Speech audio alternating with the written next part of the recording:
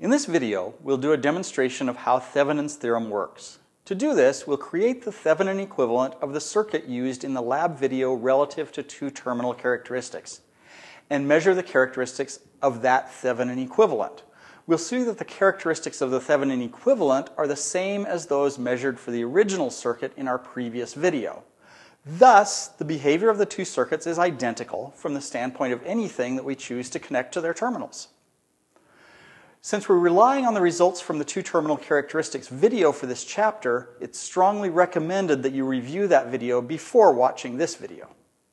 This is the circuit that we used in our video on voltage current relationships for two terminal networks. In that video, we measured the voltage current relationship for the circuit and plotted it we found that the open circuit voltage, the y-intercept of the plot of voltage versus current, was about 0.63 volts.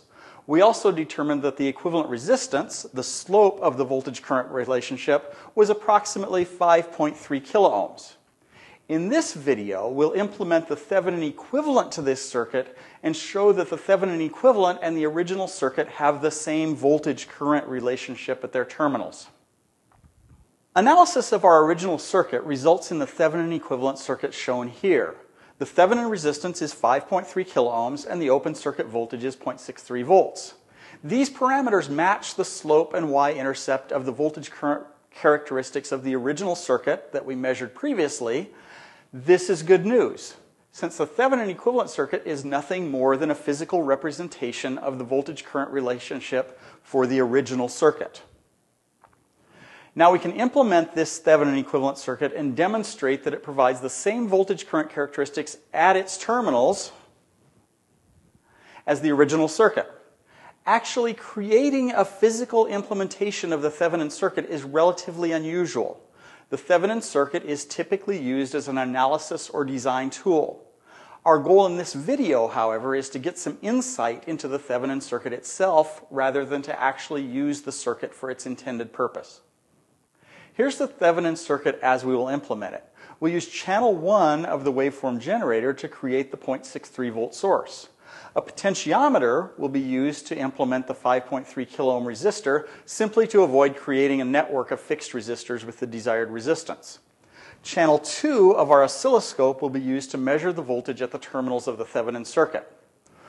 Now we're going to use our automated approach to measure and plot the voltage current characteristic of the circuit. To do this, we need to apply a time varying voltage at the terminals of this network and calculate the current going into the circuit using a math channel on our oscilloscope. The circuit we're going to use to do this is shown here. We're going to add a 1 kilo ohm resistor in series with the Thevenin circuit, use channel 2 of our waveform generator to apply a triangular voltage signal to the terminals of the overall circuit, Channel 1 of our oscilloscope will be used to measure the voltage across this resistor, so the current is just the channel 1 voltage divided by this resistance, 1000.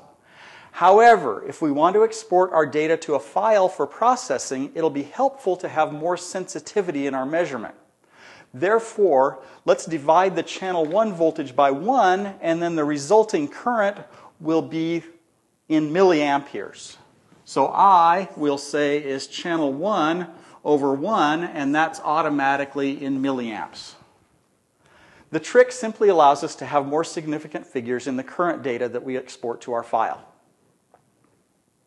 Now that we have the voltages at the terminals of the Thevenin circuit, channel 2 of our oscilloscope, and the current going into the Thevenin circuit, we can create an XY plot to directly display the voltage current characteristic of the circuit itself.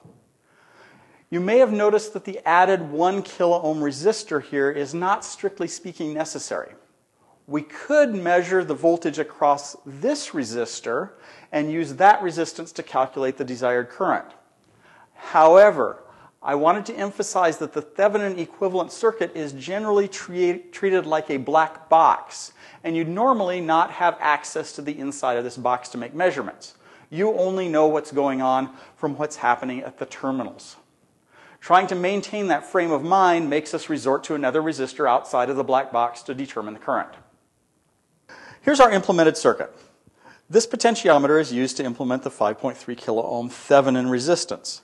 This is our 1 kilo ohm fixed resistance that we'll use to infer current from. We're applying power to the circuit with channel 2 of the AWG here. We're using this channel here to provide our 0.63 volt fixed Thevenin voltage. Channel 1 of our scope is used to measure the voltage across this resistance between this terminal and this terminal. We've used a jumper wire to jump from here to here to allow you to see the connections. Channel 2 of the oscilloscope is used to measure the voltage across this resistance. Here's our oscilloscope window that we've set up to make our measurements. Channel 1 and channel 2 are here. Our math channel is simply channel 1. Remember, we're inferring the current in milliamps from strictly the voltage across the 1 kilo ohm resistor. Our waveform generators are set up here. Channel 1 has the fixed 630 millivolt signal. Channel 2 is our triangular wave with a 4 volt amplitude and a 1 hertz frequency. If we turn on power, run our oscilloscope, we get this as our voltage current relationship. Let's go ahead and export this voltage current relationship to Excel where we can analyze it and determine the y-intercept and the slope.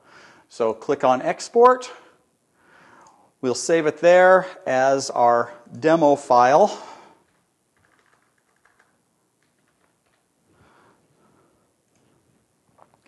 Now we can open Excel and analyze our data. In Excel, we'll open our CSV file. We use the file demo. We don't need the heading.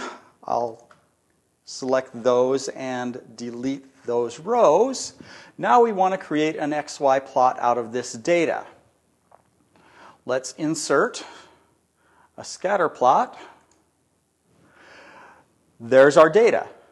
If we go into layout, set up a trend line. We'll use a linear trend line.